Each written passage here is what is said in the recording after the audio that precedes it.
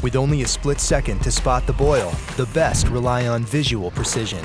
Under Armour introduces Tuned for Shoreline, lenses specifically engineered for contrast and clarity in shallow water. See it better.